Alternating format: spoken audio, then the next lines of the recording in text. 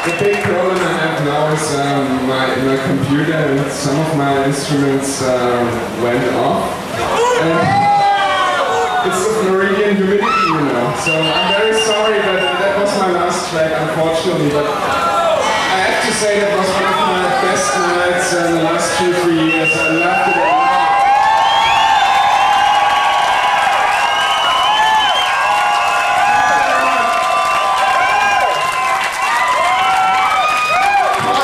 Grace Florida.